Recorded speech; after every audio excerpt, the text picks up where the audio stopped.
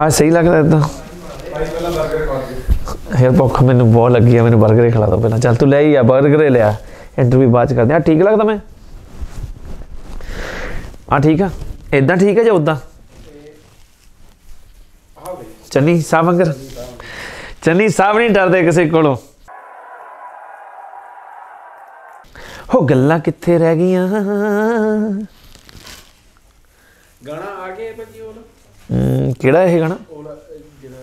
ਜੱਸੀ ਭਾਜੀ ਦਾ ਹਾਂ ਇਹ ਤਾਂ ਆ ਚੁੱਕਾ ਹੈ।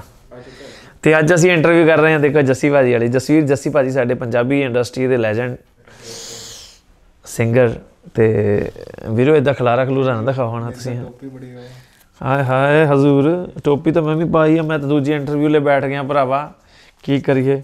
ਖਾਓ ਪਨੀਰ ਕੀ ਆ ਸੌਰੀ 버ਗਰ ਜਦੋਂ ਪਿੰਡੋਂ ਮੈਂ ਜਾਂਦਾ ਹੁੰਦਾ ਸੀ ਨਾ ਮੇਟਾਂ ਤੋਂ ਤੇ 10 ਰੁਪਏ ਦਾ ਫਗਵਾੜੇ ਸਾਡੇ 버ਗਰ ਮਿਲਦਾ ਹੁੰਦਾ ਸੀ, ਹੈਪੀ ਹੈਪੀ 버ਗਰ ਵਾਲਾ ਬੜਾ ਫੇਮਸ ਹੁੰਦਾ ਸੀ।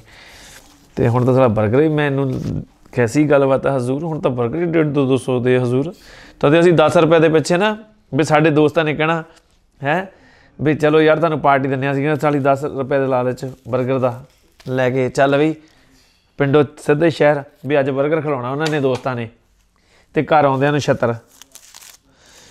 ਕੀ ਬਾਤ ਹੈ। ਠੀਕ ਹੈ ਜੀ। ਸਹੀ ਗੱਲ ਆ। ਆਓ ਤੁਹਾਨੂੰ ਵੀ ਖਿਲਾਈਏ। ਚਲੋ, ਆਓ, ਤੁਹਾਨੂੰ ਵੀ ਖਿਲਾ ਦਿੰਨੇ ਆ ਤੇ ਤੁਸੀਂ ਵੀ ਹੁਣ ਸਾਨੂੰ ਖਾਣ ਦਿਓ। ਮੂੰਹ ਬਹੁਤ ਲੱਭਣਾ 버ਗਰਸ ਤੇ ਹੁਣ ਤੁਸੀਂ ਕੀ ਪੁੱਛਣਾ ਚਾਹੁੰਦੇ ਮੈਨੂੰ? ਜੱਸੀ, ਜਸਵੀਰ ਭਾਜੀ ਦੇ ਗਾਣੇ ਬਾਰੇ, ਦਿਲ ਮੰਗਦੀ ਬਾਰੇ। ਚਲੋ, ਉਹਦੇ ਬਾਰੇ ਵੀ ਅੱਜ ਗੱਲਬਾਤ ਕਰਦੇ ਹਾਂ, ਕਿਉਂਕਿ ਅਸੀਂ ਉਹਦੇ ਬਿਹਾਈਂਡ ਦੇ ਸੀਨ ਜਿਹੜੇ ਸੀਗੇ, ਉਹ ਸ਼ੂਟ ਕੀਤੇ ਸੀਗੇ, ਪਰ ਉਹ ਜਿਹੜਾ ਬਿਹਾਈਂਡ ਦਾ ਸੀਨ ਕਰਨ ਵਾਲਾ ਮੁੰਡਾ ਸੀ, ਉਹ ਗੋਆ ਦਾ ਸੀਗਾ, ਕਿਉਂਕਿ ਗਾਣਾ ਗੋਆ ਦੇ ਵਿੱਚ ਸ਼ੂਟ ਹੋਇਆ। ਤੇ ਉਹਦੀ ਮੇਰੀ ਮੈਨੂੰ ਲੱਗਦਾ ਕਿਸੇ ਗੱਲ ਤੇ ਲੜਾਈ ਹੋ ਗਈ ਜਾਂ ਸਾਡੇ ਤੱਕ ਉਹ ਗੱਲ ਸਾਡੇ ਤੱਕ ਉਹ ਫੋਟੋਜ਼ ਜਿਹੜੀ ਫੋਟੋਜ਼ ਐਂਡ ਵੀਡੀਓਜ਼ ਉਹ ਪਹੁੰਚ ਨਹੀਂ ਸਕੀਆਂ। ਸੋ ਇਸ ਕਰਕੇ ਸਾਡੇ ਕੋਲ ਬਿਹਾਈਂਡ ਦਾ ਸੀਨ ਹੈ ਨਹੀਂ ਕਿ ਸਾਡੇ ਮੋਬਾਈਲਾਂ ਦੇ ਉੱਤੇ ਜਿੰਨੇ ਵੀ ਸ਼ੂਟ ਕੀਤੇ ਸੀ ਉਹ ਸਾਰੇ ਦੇ ਸਾਰੇ ਐਡ ਆਨ ਕਰਾਂਗੇ। ਤੇ ਬਾਕੀ ਜੇ ਇਦਾਂ ਤੁਸੀਂ ਜਾਣਨਾ ਚਾਹੁੰਦੇ ਹੋ ਵੀ ਦਿਲ ਮੰਗਦੀ ਕਿੱਦਾਂ ਬਣਿਆ, ਸੋ ਦਿਲ ਮੰਗਦੀ ਜਿੱਦਾਂ ਬਣਿਆ ਹੋਗਾ ਉਹ ਜੱਸੀ ਭਾਜੀ ਨੂੰ ਪਤਾ ਆ। ਤੇ ਦਿਲ ਮੰਗਦੀ ਦਾ ਜਿਹੜਾ ਕਿੱਸਾ ਮੈਂ ਤੁਹਾਨੂੰ ਜ਼ਰੂਰ ਸੁਣਾ ਦਿੰਦਾ ਆ।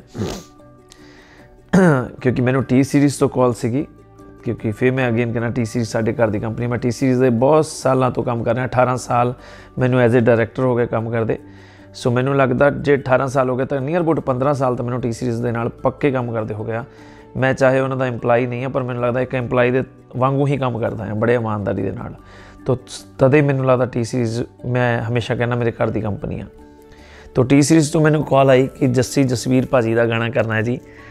ਤੇ ਜੱਸੀ ਜਸਵੀਰ ਭਾਜੀ ਸਾਡੇ ਵੱਡੇ ਸੁਪਰਸਟਾਰ ਇਸ ਇੰਡਸਟਰੀ ਦੇ ਲੈਜੈਂਡ ਔਰ ਬੜੇ ਰਿਸਪੈਕਟਫੁਲ ਪਰਸਨ ਨੇ, ਬਹੁਤ ਅੱਛੇ, ਨੇਕ ਦਿਲ ਇਨਸਾਨ ਨੇ, ਉਨੇ ਹੀ ਬਿਹਤਰੀਨ ਕਲਾਕਾਰ ਵੀ ਨੇ। ਤੇ ਜੱਸੀ ਭਾਜੀ, ਮੈਂ ਜੱਸੀ ਭਾਜੀ ਨੂੰ ਹੁਣ ਨਹੀਂ, ਇਹ ਤਾਂ ਮਤਲਬ ਇਹ ਨਹੀਂ ਵੀ ਮੈਂ ਹੁਣੇ ਜਾਣਨ ਲੱਗਾ ਮੈਂ ਬਹੁਤ ਪੁਰਾਣਾ ਭਾਜੀ ਨੂੰ ਜਾਣਦਾ ਹਾਂ। ਸੋ ਜੱਸੀ ਭਾਜੀ ਦੇ ਨਾਲ ਮੇਰਾ ਰਾਫਤਾ ਕਾਫੀ ਪੁਰਾਣਾ ਆ, ਪਿਛਲੇ 12 15 ਸਾਲ ਦਾ। ਤੇ ਪਰ ਅਸੀਂ ਕਦੇ ਕ- ਕੰਮ ਨਹੀਂ ਕੀਤਾ। ਮੈਨੂੰ ਲੱਗਦਾ ਮੈਂ ਪੰਜਾਬੀ ਇੰਡਸਟਰੀ ਦੇ ਬਹੁਤ ਐਸੇ ਕਲਾਕਾਰਾਂ ਦਾ ਨਾਲ ਕੰਮ ਨਹੀਂ ਸੀ, ਕੰਮ ਨਹੀਂ ਕੀਤਾ ਹਜੇ ਵੀ, ਪਰ ਮੇਰਾ ਪਿਆਰ ਬਹੁਤ ਆ ਔਰ ਮੈਂ ਹਮੇਸ਼ਾ ਰਿਲੇਸ਼ਨ ਚ ਬਲੀਵ ਕਰਦਾ, ਕੰਮ ਤਾਂ ਸਾਰੇ ਕਰਦੀ ਆ, ਪਰ ਮੈਨੂੰ ਲੱਗਦਾ ਮੇਰੇ ਰਿਲੇਸ਼ਨ ਅਗਰ ਵਧੀਆ ਆ ਤੇ ਉਹ ਮੇਰੇ ਲਈ ਮਸਟ ਆ, ਕੰਮ ਤੋਂ ਜ਼ਿਆਦਾ। ਬਾਗ ਬਹਿਸ਼ਤ ਐਵੇਂ ਚੱਲਿਓ, ਕੱਲ ਨੀ ਰੋੜੀ ਰੇ। ਯਾਰੀ ਲਾਇਕ ਤੋੜ ਨਿਭਾ ਦਈਏ। ਹਾਂ। ਹਾਂ ਅੱਧ ਵਿੱਚ ਨੱਸ ਪੀਏ। ਸੋ ਜੱਸੀ ਭਾਜੀ ਦਾ ਜਿਹੜਾ ਗਾਣਾ ਆ ਦਿਲ ਮੰਗਦੀ ਇਹ ਜੱਸੀ ਭਾਜੀ ਦੇ ਘਰੇ ਅਸੀਂ ਸਿਟਿੰਗ ਕੀਤੀ ਟੀ ਸੀਰੀਜ਼ ਦੀ ਕਾਲ ਸੀਗੀ ਮੈਨੂੰ ਗਾਣੇ ਆਏ। ਤੇ ਗਾਣੇ ਆਏ ਮੈਨੂੰ ਦੋ।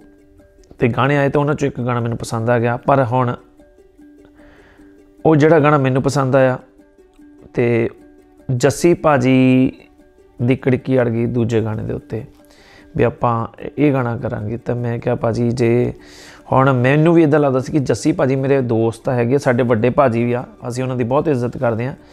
ਤੇ ਯਾਰ ਮੈਨੂੰ ਭਾਜੀ ਦਾ ਗਾਣਾ ਪਹਿਲੀ ਵਾਰ ਕਰਨ ਦਾ ਮੌਕਾ ਮਿਲ ਰਿਹਾ ਆ। ਤੇ ਯਾਰ ਮੈਂ ਭਾਜੀ ਦਾ ਗਾਣਾ ਨਹੀਂ ਉਹ ਕਰਨਾ, ਮਤਲਬ ਮੈਨੂੰ ਮੈਨੂੰ ਜਿਹੜਾ ਪਸੰਦ ਨਹੀਂਗਾ। ਤੇ ਜੱਸੀ ਭਾਜੀ ਵੀ ਅੜ ਗਏ ਕਿ ਨਹੀਂ ਜੀ, ਮੈਂ ਤਾਂ ਉਹੀ ਗਾਣਾ ਕਰਨਾ ਆ। ਸਾਡੀ ਇੱਕ ਵਾਰ ਹਰਭਜਨ ਮਾਨ ਸਾਹਿਬ ਦੇ ਘਰੇ ਸਿਟਿੰਗ ਵੀ ਹੋਈ। ਮੈਂ ਕਨਸੈਪਟ ਸੁਣਾਇਆ, ਪਰ ਫਿਰ ਵੀ ਮੈਂ ਸੈਟੀਸਫਾਈ ਨਹੀਂ ਸੀ ਤੇ ਭਾਜੀ ਕਹਿੰਦੇ ਨਹੀਂ ਯਾਰ ਗਾਣਾ ਮੈਂ ਉਹੀ ਕਰਨਾ ਆ।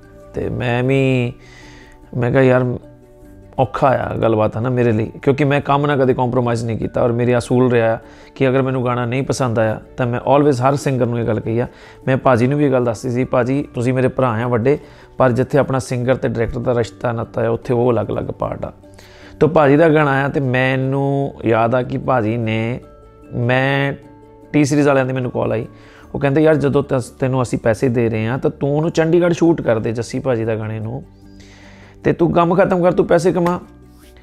ਤੇ ਗਾਣਾ ਤੂੰ ਆਹੀ ਸ਼ੂਟ ਕਰ ਦੇ। ਮੈਂ ਕਿਹਾ, ਨਹੀਂ ਭਾਜੀ, ਉਹ ਗਾਣਾ ਉਹ ਮੈਨੂੰ ਪਸੰਦ ਆ। ਉਹ ਗਾਣਾ ਮੈਨੂੰ ਵੀ ਨਹੀਂ ਸੀ ਪਤਾ ਵੀ ਜੱਸੀ ਭਾਜੀ ਦੇ ਵੱਡੇ ਬੇਟੇ ਨੇ ਜੱਸੀ ਭਾਜੀ ਦੇ ਬੇਟੇ 뮤직 ਵੀ ਕਰਦੇ ਨੇ ਤੇ ਉਹਨਾਂ ਨੇ 뮤직 ਕੀਤਾ ਸੀ ਤੇ ਇੱਕ ਵੈਲ ਨੋਨ ਬੰਦੇ ਦਾ 뮤직 ਡਾਇਰੈਕਟਰ ਦਾ ਗਾਣਾ ਸੀ ਤਾਂ ਭਾਜੀ ਕਹਿੰਦੇ ਯਾਰ ਇਹ ਬਹੁਤ ਵੱਡੇ 뮤직 ਡਾਇਰੈਕਟਰ ਦਾ ਮੈਂ ਕਿਹਾ ਭਾਜੀ ਮੈਨੂੰ 뮤직 ਡਾਇਰੈਕਟਰ ਨਾਲ ਮਤਲਬ ਨਹੀਂ ਮੈਨੂੰ ਗਾਣਾ ਨਹੀਂ ਪਸੰਦ ਆ ਰਿਹਾ ਸੋ ਜੀ ਕਰਦੇ ਕਰਾਉਂਦੇ ਕੀ ਹੋਇਆ ਕਿ ਮੈਂ ਭਾਜੀ ਨੂੰ ਕਨਸੈਪਟ ਦਿੱਤੇ ਭਾਜੀ ਕਹਿੰਦੇ ਯਾਰ ਆਹ ਗਾਣਾ ਤਾਂ ਰਾਣੇ ਭਾਜੀ ਬਹੁਤ ਵੱਡੇ ਬਜਟ ਦਾ ਆ ਕਨਸੈਪਟ ਯਾਰ ਇਹ ਨਹੀਂ ਹੋ ਸਕਦਾ ਮੈਂ ਕਿਹਾ ਤੁਸੀਂ ਮੈਨੂੰ ਕੀ ਪ੍ਰੋਵਾਈਡ ਕਰ ਦਿਓ ਸੋ ਭਾਜੀ ਕਹਿੰਦੇ ਯਾਰ ਇਹ ਗਾਣਾ ਫੋਰਨ ਚ ਸ਼ੂਟ ਹੋਣਾ ਮੈਂ ਕਿਹਾ ਫੋਰਨ ਤਾਂ ਨਹੀਂ ਜਾ ਸਕਦੇ ਗੋਆ ਗੋਆ ਚੱਲਦੇ ਆ। ਕਹਿੰਦੇ ਮੇਰੇ ਦੋਸਤ ਦਾ ਉੱਥੇ ਰਿਜ਼ੋਰਟ ਆ, ਰਹਿਣੇ ਪਾ, ਮੈਂ ਤੁਹਾਨੂੰ ਹੀਰੋਇਨ ਖਾਣ ਪੀਣ, ਰਹਿਣਾ ਸਹਿਣਾ ਸਾਰਾ ਫ੍ਰੀ ਕਰ ਦਊਂਗਾ। ਮੈਂ ਕਿਹਾ ਠੀਕ ਆ ਭਾਜੀ, ਮੇਰੀ ਜੇਬੀ ਚੋਂ ਪੈਸੇ ਲੱਗਣ, ਜਿੱਦਾਂ ਮਰਜ਼ੀ ਲੱਗਣ। ਹੁਣ ਆਪਣੀ ਅੜੀ ਅੜ ਗਈ ਕਿ ਹੁਣ ਤਾਂ ਇੱਜ਼ਤ ਵਾਲੀ ਸਵਾਲ ਹੈਗਾ, ਕਿਉਂਕਿ ਮੇਰੇ ਵੱਡੇ ਭਾਜੀ ਵੀ ਆ ਤੇ ਇੱਕ ਪੁਆਇੰਟ ਤੇ ਉਹ ਸਿੰਗਰ ਵੀ ਨੇਗੇ, ਹੈਨਾ? ਜੱਸੀ ਜਸਵੀਰ ਵੀ ਨੇ। ਤੇ ਮੈਂ ਵੀ ਉਹਨਾਂ ਦਾ ਛੋਟਾ ਭਰਾ ਹਾਂ ਤੇ ਇੱਕ ਪਾਸੇ ਪ੍ਰਮੋਸ਼ਨ ਮਰਾਣਾ ਡਾਇਰੈਕਟਰ ਵੀ ਹਾਂ। ਸੋ ਮੈਂ ਵੀ ਟੀਸੀਐਸ ਨੂੰ ਕਹਿੰਦਾ ਮੈਂ ਗਾਣਾ ਗੋਆ ਸ਼ੂਟ ਕਰਨਾ ਭਾਜੀ ਨੂੰ ਕਨਸੈਪਟ ਸੁਣਾਤਾ ਇਦਾਂ ਆ। ਮੈਂ ਕਿਹਾ ਭਾਜੀ ਜਿੰਨੇ ਪੈਸੇ ਲੱਗੂਗੇ ਮੇਰੀ ਜੇਬੀ 'ਚ ਲੱਗੂਗੇ ਤੁਹਾਡੇ ਕੋਈ ਤੁਸੀਂ ਤਾਂ ਫਾਇਦੇ 'ਚ ਹੀ ਆ ਨਾ। ਤੇ ਮੈਂ ਆਪੇ ਕਰਾਂਗਾ। ਚਲੋ ਜੀ ਅਸੀਂ ਗਾਣਾ ਸ਼ੂਟ ਕਰਨ ਦੇ ਲਈ ਗੋਆ ਚਲੇ ਗਏ।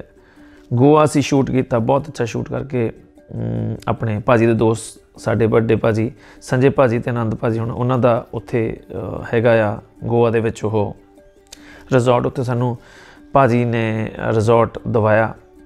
ਰਹਿਣ ਸਹਿਣ, ਖਾਣ ਪੀਣ ਦੀ ਕੋਈ ਕਮੀ ਨਹੀਂ ਛੱਡੀ। ਇਸ ਲਈ ਆਲਵੇਜ਼ ਮੈਂ ਆਲਵੇਜ਼ ਹਮੇਸ਼ਾ ਕਹਿੰਦਾ ਹੁੰਦਾ ਕਿ ਜੋ ਜੱਸੀ ਭਾਜੀ ਨੇ ਇੱਜ਼ਤ ਕਮਾਈ ਆ, ਜੋ ਆਪਣਾ ਰੁਤਬਾ ਕਮਾਇਆ ਤੇ ਉਹ ਬਾ ਕਮਾਲ ਆ, ਕਿਉਂਕਿ ਉਹਨਾਂ ਦੀ ਰਿਸਪੈਕਟ ਵਾਕਿਆ ਬਹੁਤ ਆ। ਉਹ ਅਲੱਗ ਪਾਰਟ ਹੋ ਜਾਂਦਾ ਕਿ ਕਿਸੇ ਪੁਆਇੰਟ ਦੇ ਉੱਤੇ ਜਾ ਕੇ ਸਾਡਾ ਟੈਕਨੀਕਲ ਕੋਈ ਆਪਸ ਇਸ਼ੂ ਅੜ ਜਾਂਦਾ ਹੁੰਦਾ ਆ, ਵੱਡੇ ਛੋਟੇ ਦਾ। ਤੇ ਉਹਦੇ ਲਈ ਉਹ ਅਲੱਗ ਪਾਰਟ ਹੋ ਜਾਂਦੇ ਆ। ਬਟ ਇੱਥੇ ਮੈਨੂੰ ਲੱਗਦਾ ਕਿ ਭਾਜੀ ਨੇ ਬਹੁਤ ਇੱਜ਼ਤ ਕਮਾਈ ਆ। ਆਲਵੇਜ਼ ਅਸੀਂ ਪਿੱਠ ਪਿੱਛੇ ਵੀ ਉਹਨਾਂ ਦੀ ਇਹ ਗੱਲ ਕਰਦੇ ਆ ਸੋ ਸਾਡੇ ਵੱਡੇ ਭਾਜੀ ਆ ਭਾਜੀ ਕਹਿ I think you should speak in English with uh, that gentleman. He's from America. You can speak Bolo, in English. bolo, my English is very bad. आपकी इंग्लिश वेरी बैड भैया कोई बात नहीं प्रैक्टिस करो यार कोई बात नहीं भैया नहीं पता ये तो क्या हुआ Who taught you all of this? Wow Jassi भाजी इंडिया जस्सी भाजी की कहने ने वाओ ये तो इंग्लिश मतलब हिंदी में आ गया है भाई साहब ਤੇ ਫਿਰ ਮੈਨੂੰ ਭਾਜੀ ਨਾਲ ਕੰਮ ਕਰਨ ਦਾ ਮੌਕਾ ਮਿਲਿਆ ਸਟਾਰਟ ਕੀਤਾ ਗਾਣਾ ਉੱਥੇ ਜੀ ਇਸ਼ਿਕਾ ਇਸ਼ਿਕਾ ਤਨੇਜਾ ਜੀ ਨੇ ਉਹਦੇ ਵਿੱਚ ਫੀਚਰਿੰਗ ਕੀਤੀ ਟੀ ਸੀਰੀਜ਼ ਦਾ ਪ੍ਰੋਜੈਕਟ ਸੀਗਾ ਅਹ ਭਾਜੀ ਦੇ ਮ, ਬੇਟਿਆਂ ਨੇ 뮤직 ਕੀਤਾ ਸੀਗਾ ਤੇ ਜੱਸੀ ਭਾਜੀ ਨੇ ਲਿਖਿਆ ਸੀ ਮੈਨੂੰ ਲੱਗਦਾ ਤੇ ਫਿਰ ਅਸੀਂ ਉੱਥੇ ਸ਼ੁਰੂ ਕੀਤਾ ਜੀ ਤੇ ਕਰਦੇ ਕਰਾਉਂਦੇ ਉਹ ਰੱਬ ਦੀ ਦਇਆ ਨਾਲ ਗੋਆ ਦੇ ਵਿੱਚ ਇੱਕ ਦਿਨ ਪਹਿਲਾਂ ਲਾਇਆ ਫਿਰ ਸੈਕਿੰਡ ਡੇ ਸ਼ੂਟ ਕੀਤਾ ਜਿੰਨਾ ਵੀ ਸ਼ੂਟ ਕੀਤਾ ਤੁਹਾਡੇ ਰੂਬਰੂ ਆ। ਤੇ ਵਿੱਚ ਵਿੱਚ ਜਿਹੜੀਆਂ ਚੁਲਬਲੀਆਂ ਅਸੀਂ, ਮਤਲਬ ਮਜ਼ਾਕ ਕੀਤਾ, ਹਰਕਤਾਂ ਕੀਤੀਆਂ, ਤੇ ਤੁਹਾਨੂੰ ਪਹਿਲੇ ਦੱਸਦੇ ਬਿਹਾਈਂਡ ਦਾ ਸੀਨ ਸਾਡੇ ਕੋਲ ਨਹੀਂ ਹੈਗਾ ਇਸ ਟਾਈਮ ਪਰ ਮੇਰੇ ਮੋਬਾਈਲ ਤੇ ਮੇਰੀਆਂ ਫੋਟੋਆਂ ਜਿਹੜੀਆਂ ਮੇਰੀਆਂ ਭਾਜੀ ਦੇ ਨਾਲ ਯਾਦਾਂ ਹੋਣੀਆਂ, ਉਹ ਤੁਹਾਡੇ ਰੂਬਰੂ ਜ਼ਰੂਰ ਕਰਾਂਗੇ। ਸੋ ਇਹ ਇੱਕ ਛੋਟੀਆਂ ਮੋਟੀਆਂ ਸਾਡੀਆਂ ਯਾਦਾਂ ਜੁੜੀਆਂ ਆ। ਸੋ ਬਾਕੀ ਰਹੀ ਗੱਲ ਕੀ ਸੋਚਦੇ ਹੁੰਦੇ ਸੀ ਕਹਿੰਦੇ ਯਾਰ ਪੰਜਾਬ ਵਾਲੇ ਗਾਣ ਨਹੀਂ ਨਹੀਂ ਨਹੀਂ ਕਿਉਂਕਿ ਉਹਨਾਂ ਨੇ ਕੰਮ ਸਾਰੀ ਉਮਰ ਬੰਬੇ ਕੀਤਾ। ਤੇ ਉਹਨਾਂ ਨੂੰ ਹਜੇ ਵੀ ਪਤਾ ਨਹੀਂ ਕੀ ਇਦਾਂ ਲੱਗਦਾ ਸੀ ਕਿ ਵੀ ਯਾਰ ਪੰਜਾਬ ਵਾਲੇ ਡਾਇਰੈਕਟਰਸ ਉਹ ਨਹੀਂ ਕੰਮ ਕਰੂਗੇ। ਜੋ ਮੈਨੂੰ, ਮਤਲਬ ਮੈਂ ਉਹਨਾਂ ਨਾਲ ਅਬਜ਼ਰਵ ਕੀਤਾ ਉਹਨਾਂ ਦੀਆਂ ਚੀਜ਼ਾਂ ਨੂੰ ਉਹਨਾਂ ਦਿਨਾਂ ਦੇ ਵਿੱਚ। ਸੋ ਗਾਣਾ ਕਰਨ ਵੀ ਚਲੇ ਗਏ ਸੀ, ਤਾਂ ਵੀ ਉਹ ਉਹਨਾਂ ਨੂੰ ਸ਼ੰਕਾ ਸੀ ਵੀ ਰਾਣੇ ਨੇ ਵਧੀਆ ਨਹੀਂ ਕਰਨਾ। ਯਾਰ ਛੱਡ ਇਹ ਕਿੱਥੇ ਕਰਦੇ ਆ? ਭਾਵੇਂ ਮੈਂ ਹਜ਼ਾਰ ਗਾਣਾ ਕਰ ਚੁੱਕਾ ਆ ਆਪਣੀ ਚੀਜ਼ ਦਿਖਾਉਣਾ ਜਾਂ ਦੱਸਣਾ ਬਹੁਤ ਔਖਾ ਆ। ਚਲੋ ਕਰਕੇ ਆ ਗਿਆ ਤਾਂ ਜਦੋਂ ਮੈਂ ਆ ਕੇ ਭਾਜੀ ਦੇ ਘਰ ਅਸੀਂ ਭਾਜੀ ਚੰਡੀਗੜ੍ਹ, ਭਾਜੀ ਦੇ ਘਰੇ ਗਿਆ ਤਾਂ ਮੈਨੂੰ ਯਾਦ ਆ, ਹਰਭਜਨ ਮਾਨ ਸਾਹਿਬ ਵੱਡੇ ਭਾਜੀ ਸਾਡੇ, ਉਹ ਵੀ ਰਿਸਪੈਕਟਡ ਨੇ ਲੈਜੈਂਡ ਨੇ। ਸੋ ਉਹ ਵੀ ਇੰਡਸਟਰੀ ਦੇ ਬਹੁਤ ਵੱਡੇ ਥੰਮ ਨੇ। ਭਾਈ ਹਰਜਿੰਦਰ ਸਿੰਘ ਜੀ, ਸ਼੍ਰੀਨਗਰ ਵਾਲੇ, ਗੁਰਪ੍ਰੀਤ ਘੁੱਗੀ ਸਾਹਿਬ ਮੇਰੇ ਵੱਡੇ ਭਾਜੀ, ਤੋਂ ਸਾਰੇ ਰਿਸਪੈਕਟਫੁਲ ਪਰਸਨਸ ਉੱਥੇ ਸੀਗੇ। ਤਾਂ ਮੈਂ ਫੁਟੇਜ ਦਿਖਾਉਣ ਗਿਆ ਆਪਣੇ ਲੈਪਟਾਪ ਤੇ। ਤਾਂ ਫੁਟੇਜ ਦੇਖ ਕੇ ਜੱਸੀ ਭਾਜੀ ਨੂੰ, ਹਰਭਜਨ ਮਾ- ਭਾਜੀ ਨੇ ਮੈਨੂੰ ਯਾਦ ਆ, ਇੱਕ ਗੱਲ ਕਹੀ, ਕਹਿੰਦੇ, ਯਾਰ ਜੱਸੀ, ਤੂੰ ਤਾਂ ਅੱਜ ਵੀ ਰਾਣੇ ਨੇ ਤੈਨੂੰ ਦਿਲ ਲੈ ਗਈ ਕੁੜੀ ਗੁਜਰਾਤ ਵਾਲਾ ਦਿਖਾਤਾ।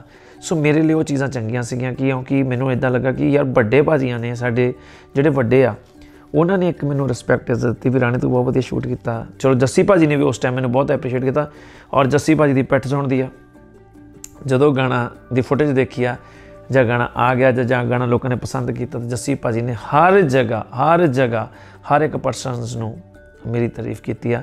ਸੋ ਉਹਦੇ ਲਈ ਜੱਸੀ ਭਾਜੀ ਲਵ ਯੂ ਆਲਵੇਜ਼ ਤੇ ਬਾਕੀ ਸਾਰੇ ਮੇਰੇ ਦੋਸਤਾਂ ਮਿੱਤਰਾਂ ਦਾ ਵੀ ਥੈਂਕ ਯੂ ਇਸ ਗਾਣੇ ਦੇ ਵਿੱਚ ਜਿਹੜਾ ਹੁਣ ਮੇਰੇ ਨਾਲ ਕਰਿਊ ਨੇ ਕੰਮ ਕੀਤਾ, ਉਹ ਮੇਰਾ ਛੋਟਾ ਭਰਾ ਸਚਿਨ। ਸਚਿਨ ਵੀ ਮੇਰੀ ਟੀਮ ਦਾ ਮੈਂਬਰ ਹੀ ਆ। ਸਚਿਨ ਨੇ ਕੈਮਰਾ ਕੀਤਾ ਆ ਤੇ ਕੋਰੀਓਗ੍ਰਾਫਰ ਵਿਵੇਕ, ਉਹ ਵੀ ਮੇਰਾ ਛੋਟਾ ਭਾਈ ਆ। ਸੋ ਅਸੀਂ ਸਾਰੇ ਦੇ ਸਾਰੇ, ਬਸ ਤੇ ਗੁਰਪ੍ਰੀਤ ਜੀ। ਗੁਰਪ੍ਰੀਤ ਜੀ ਨੇ ਇਹਦੇ ਵਿੱਚ ਮੇਕਅਪ ਦਿੱਲੀ ਤੋਂ ਨੇ। ਗੁਰਪ੍ਰੀਤ ਜੀ ਨੇ ਡਿਜ਼ਾਈਨ ਡਿਜ਼ਾਈਨਰ ਵੀ ਸੀ। ਕਾਸਟਿਊਮ ਤੇ ਨਾਲ ਮੇਕਅਪ ਤੇ ਹੇਅਰ ਦਾ ਕੀਤਾ ਤੇ ਉਹਨਾਂ ਦਾ ਸਾਰੇ, ਤੇ ਜੱਸੀ ਭਾਈ ਦੀ ਪੂਰੀ ਟੀਮ ਦਾ ਵੀਰਾ ਭਾਜੀ ਦਾ ਸਾਰਿਆਂ ਦਾ, ਸੰਜੇ ਭਾਜੀ ਖੁੱਲਰ ਸਾਹਿਬ, ਉਹਨਾਂ ਦੇ ਰਿਜ਼ੋਰਟ ਦਾ, ਗੋਆ ਦੇ ਵਿੱਚ ਉਹਨਾਂ ਸਾਰਿਆਂ ਦਾ ਥੈਂਕ ਯੂ ਕਿ ਤੁਸੀਂ ਇੰਨਾ ਜ਼ਿਆਦਾ ਸਾਨੂੰ ਸੋਹਣਾ ਸੋਹਣਾ ਫੂਡ ਖਿਲਾਇਆ ਗੋਆ ਦੇ ਵਿੱਚ। ਕੀ ਬਾਤ ਹੈ। ਉੱਥੇ ਦੀਆਂ ਵਧੀਆ ਵਧੀਆ ਲੋਕੇਸ਼ਨਾਂ ਤੁਹਾਡੇ ਰੂਬਰੂ ਕਰਾਂਗੇ। ਮੈਂ ਤਾਂ ਜੱਸੀ ਭਾਜੀ, ਸਵੇਰੇ ਉੱਠ ਕੇ अर्ਲੀ ਮਾਰਨਿੰਗ ਅਸੀਂ ਯੋਗਾ ਦੇ ਵਿੱਚ, ਉਹ ਵੀ ਤੁਹਾਨੂੰ ਹੁਣ ਮੈਂ ਰੂਬਰੂ ਕਰਾਂਗਾ। ਕੀ ਬਾਤ ਮੈਂ ਤਾਂ ਜੱਸੀ ਭਾਜੀ ਦੋਨੇ ਯੋਗਾ ਕਰ ਰਹੇ ਹਾਂ। ਹੈ? ਵਧੀਆ ਯਾਦਾਂ ਜੁੜੀਆਂ। ਵਧੀਆ ਸੋਹਣੀਆਂ ਯਾਦਾਂ। ਇਹ ਯਾਦਾਂ ਹੀ ਆ। ਮੈਨੂੰ ਲੱਗਦਾ ਜਿੰਨਾ ਮੈਂ ਕੰਮ ਕਰ ਗਿਆ ਅੱਗੇ, ਮੈਂ ਮੈਨੂੰ ਚੀਜ਼ਾਂ ਸਾਨੂੰ ਬਹੁਤ ਸਮੇਂ ਪਹਿਲਾਂ ਮੈਨੂੰ ਕਰ ਲੈਣੀਆਂ ਚਾਹੀਦੀਆਂ ਸੀ ਕਿ ਮੇਰਾ ਹਰ ਕਿਸੇ ਕਲਾਕਾਰ ਦੇ ਨਾਲ ਰਫਤਾ ਤਾਂ ਜੁੜਿਆ ਹੀ ਆ ਔਰ ਮੇਰੇ ਭਰਾ ਆ। ਤੇ ਪਰਸਨਲੀ ਮੈਂ ਇੱਕ ਗੱਲ ਜ਼ਰੂਰ ਕਹਿਣਾ ਚਾਹੁੰਦਾ ਅੱਜ, ਸ਼ਾਇਦ ਜੱਸੀ ਭਾਜੀ ਵਾਲੀ ਇੰਟਰਵਿਊ ਦੇ ਵਿੱਚ ਹੀ ਜਾਂ ਬਲੌਗਸ ਦੇ ਵਿੱਚ ਕਿ ਯਾਰ ਮੇਰਾ ਪਰਸਨਲੀ ਕੋਈ ਵੀ ਕਿਸੇ ਨਾਲ ਵਿਤਕਰਾ ਨਿਗਾ ਜਾਂ ਮੇਰਾ ਕੋਈ ਲੜਾਈ ਝਗੜਾ ਨਹੀਂ ਆ, ਮੈਂ ਕਿਹੜੀ ਕੋਈ ਜ਼ਮੀਨ ਵੰਡਣੀ ਆ। ਸਿਰਫ ਤੁਹਾਡੇ ਵਿਚਾਰਾਂ ਦੇ ਕੁਝ ਉੱਪਰ ਥੱਲੇ ਹੋ ਸਕਦੀ ਆ। ਉਹਦਾ ਮਨਮਟਾਵ ਹੋ ਸਕਦਾ ਅਦਰਵਾਈਜ਼ ਕੋਈ ਮਨਮਟਾਵ ਨਹੀਂ। ਕਿਸੇ ਗਾਣੇ ਦੀ ਸ਼ੂਟਿੰਗ ਦੇ ਉੱਤੇ ਕੋਈ ਕਿਸੇ ਨੂੰ ਉੱਚਾ ਨੀਵਾਂ ਬੋਲ ਦਿੱਤਾ ਮਾੜਾ ਮੋਟਾ ਕਿਸੇ ਨੇ ਅੱਗੇ ਮੈਨੂੰ ਕੁਝ ਕਹਿਤਾ ਮੈਂ ਕਿਸੇ ਨੂੰ ਕਹਿਤਾ। ਸੋ ਉਸ ਟਾਈਮ ਪ੍ਰੈਸ਼ਰ ਹੀ ਇੰਨਾ ਹੁੰਦਾ ਆ।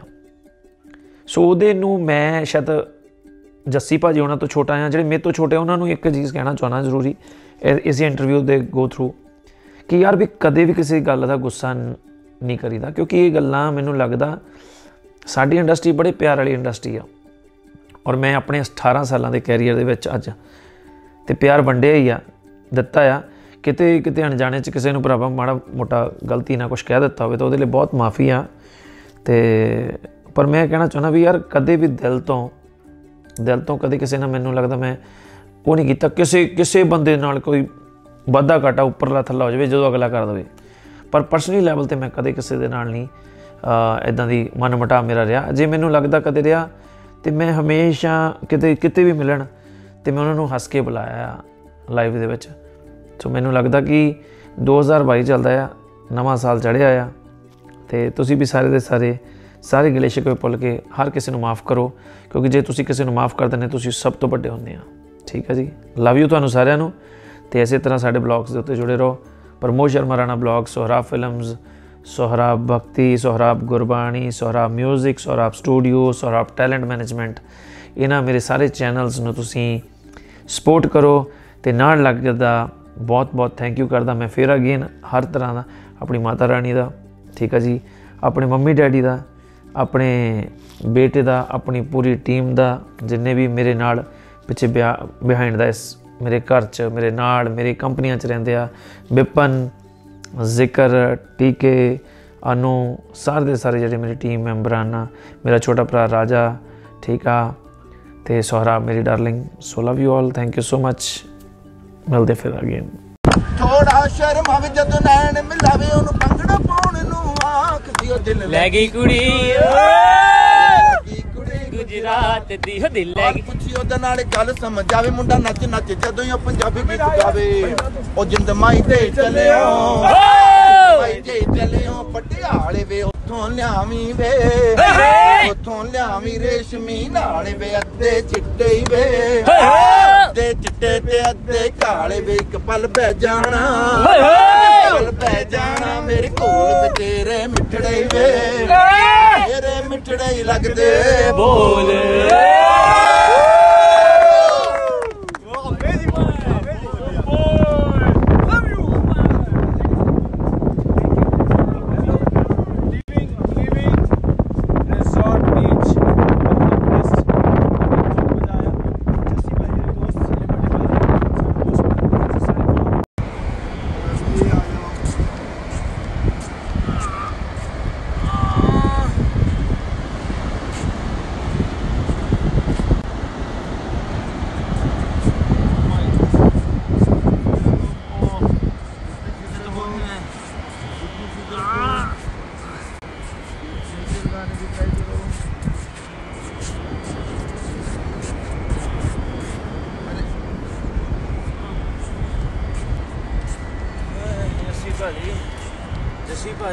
guy is very